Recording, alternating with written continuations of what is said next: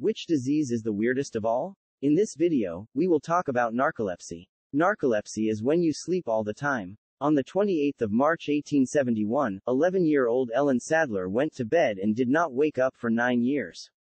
This is Ellen before she fell asleep.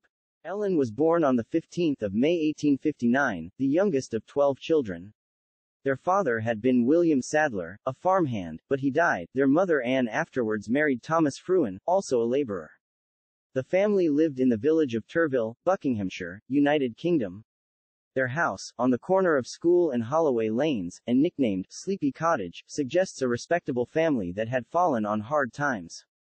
Ellen was always a bit limp and dreamy. One day, at 11 years of age, she was sent to the town of Marlow be a nursemaid for two very young children.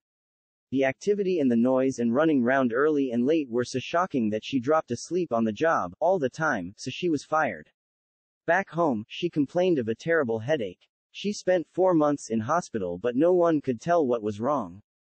Two days after being driven home in a rickety cart, she had several fits, and collapsed into a sleep from which nothing, but nothing, woke her.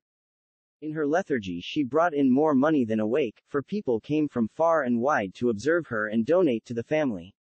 A journalist reported, her breathing was regular and natural, the skin soft and the body warm, as in a healthy subject, the pulse rather fast.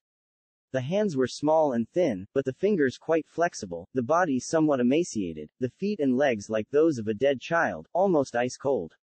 Her features were pleasant, her eyes and cheeks sunken, but although there was no color on her cheeks, the paleness did not betoken death. She just stayed like that. She had two missing teeth, so milk, port wine, and gruel were poured into her mouth, which was clamped shut. She had no bowel movements for five years, but every four days a large amount would pass from her bladder. To begin with, it was not a hoax. However, probably at age 16 or thereabouts, she started to wake when no one but the family was watching, and probably ate some real food, because people claimed they saw her sitting at her window at night. In May 1880, round the time of Ellen's 21st birthday, her mother came home agitated from the fields and died of heart failure. Things began moving rapidly. Ellen was put into the care of her sister, Elizabeth Stacy, who was married to a bricklayer, and in October 1880 woke up. She was stunted in growth, had a weak eye, spoke and acted like a child, and professed to remember nothing of the past nine years. Later, she went to live with her aunt, Grace Blackall, earning her keep with beadwork. In 1886, when she looked like this, she married a relative, Mark Blackall. They had six children between 1888 and 1898, and are listed in the 1911 census. So, what is the diagnosis? Narcolepsy is a neurological sleep disorder. It can begin at puberty and cause minutes long lack of muscle control.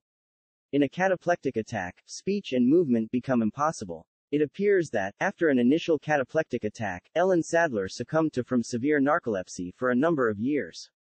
Eventually she must have woken up, but since her mother was receiving pound 2 pounds a week in charity, that is 100 pounds today, and since Ellen felt weak anyhow, there would have been no incentive to make an effort and face the real world.